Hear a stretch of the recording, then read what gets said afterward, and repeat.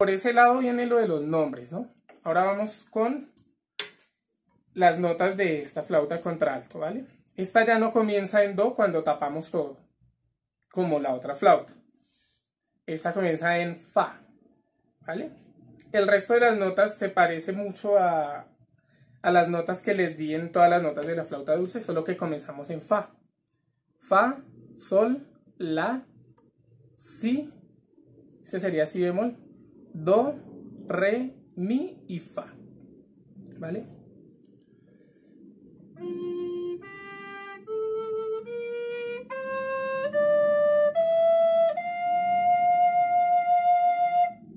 Nos devolvemos.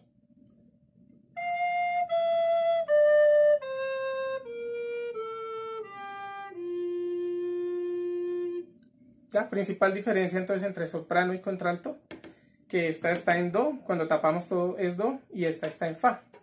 Cuando tapamos todo comenzamos con la nota fa, ¿vale? Esa es la principal diferencia. Ahora las notas agudas.